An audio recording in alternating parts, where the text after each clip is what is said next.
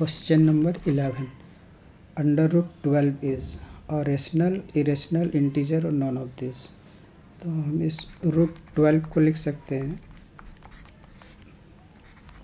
Four into three और four का root होता है टू तो ये होगा two root three and we know that the square root of any prime number is irrational तो इसका मतलब ये रूट थ्री जो है इरेशनल नंबर है।